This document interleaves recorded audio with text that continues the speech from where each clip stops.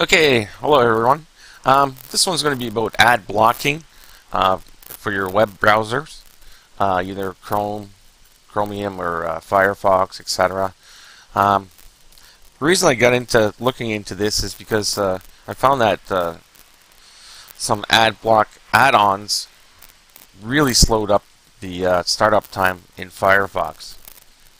Um, and from testing and disabling that those add-ons, it, the Firefox the Firefox would open much much quicker without the ad blocking um, add-on.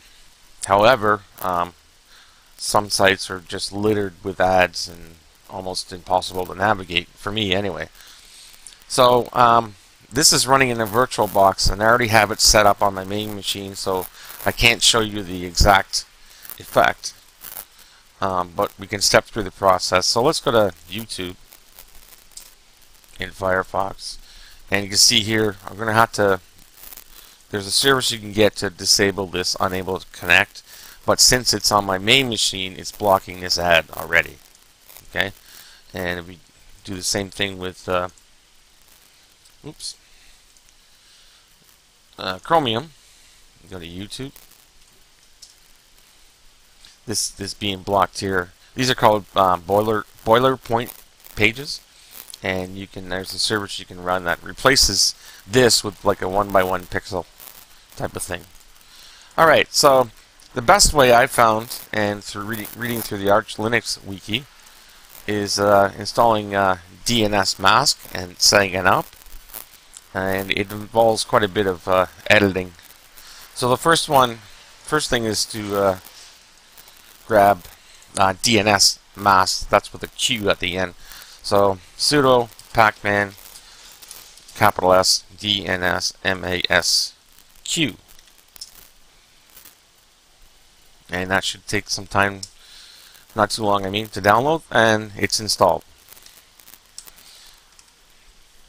Now we're going to have to edit uh, the configuration file.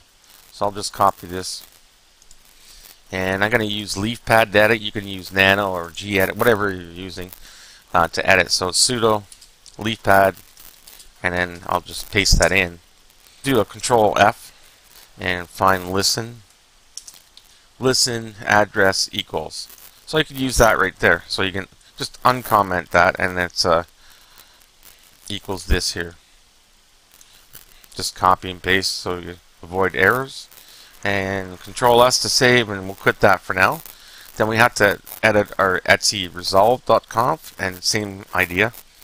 Add name server and then the local host the 127 so sudo leafpad then etc resolve.conf and hopefully this will work in a virtual machine. I haven't really I haven't tried this out.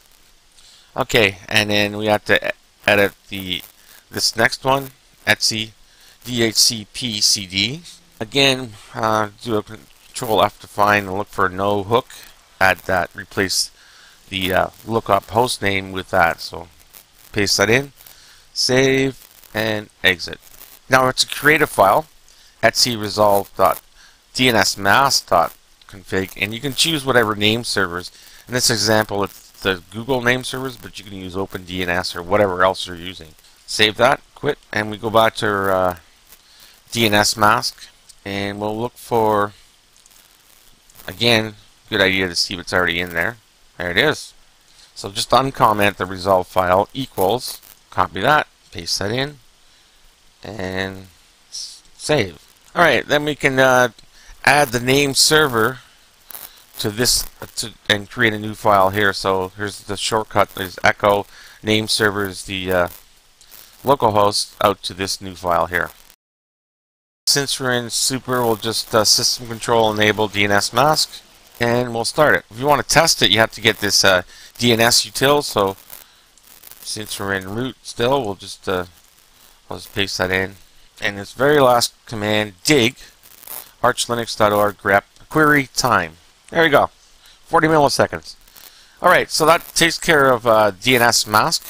Okay, so it's running. It'll run at startup and etc. Now let's go to host block. Uh, this guy's uh, is on the Arch Linux forum. and it's created an awesome uh, utility called host block, and you can add a ton of uh, hosts if you wish and there's some screenshots here and it gives you dependencies should have uh, unzip or p7zip I didn't have much luck with uh, on, uh, downloading this through the AUR didn't seem to work correctly. So you can download the zip file or the tar file. Either one. I'll get the tar I guess. So we'll just drag this into here. Open a terminal inside this folder here. To install I found this to work best.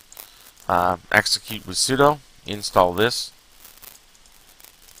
So I'll just do line by line and I'll pause this. So so you get the idea. So you just just copy uh, these lines on this page. I'll put this in the description and then uh, make sure you put sudo at the beginning and then paste it into your command line and uh, so you're finished here.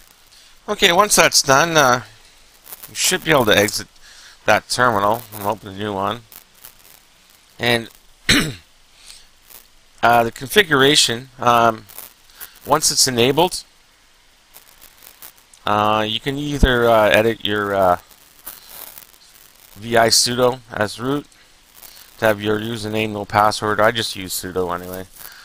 So you can do like a check and see if it's blocked or not. And if you want to block a site, you can through this.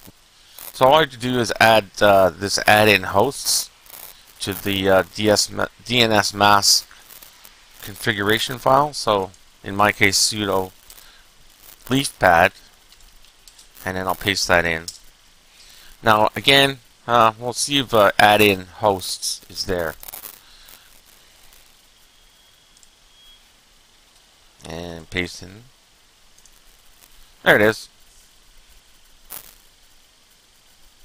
So uncomment that line and add in etc the uh, hosts dot block.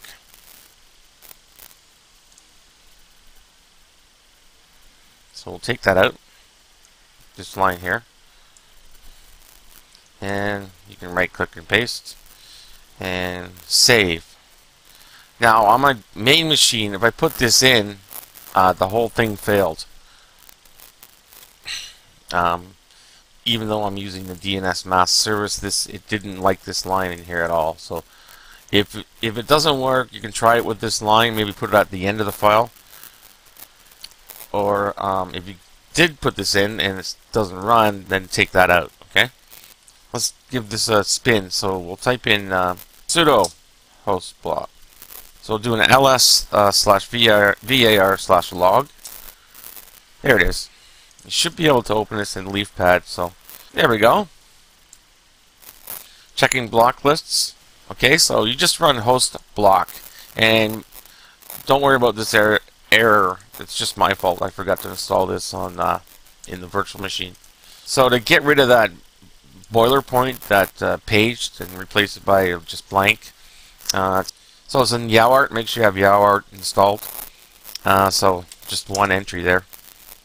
And uh, you, your choice if you want to edit or not. So it's uh, sudo system ctl enable k I think that's what it is k kwakd yep and then we'll start it and let's go to uh, Chromium see what happens it's gone that funny page is gone. So go to Firefox, YouTube, and the thing here where it says can't establish connection is gone. It's been replaced with that uh, service that we just installed. So that's a, a really long-winded way of uh, adding and um, having an ad blocking facility that's not a browser plugin but a global thing for your browsers and like I said, if the blocking um, programs I installed, the extensions, were really slowing up the browser. Like if you notice, Firefox on to like it opens pretty quick, as does Chromium. Okay, so if you're running into problems with that, and you're using Linux, and you want to try a different method of blocking ads, it doesn't take too much uh, time at startup with it's milliseconds. Um, you might want to try this out. So that's it uh, for this one, basically. Uh, there's others you should read through that. I'll put the uh, rel relative links uh, in the description, and there's even more um, blocking services for malware and stuff you can add in uh, the uh, host file, host block file. Okay, so thanks so much for watching, and uh, we'll talk to you soon. Happy surfing, and bye for now.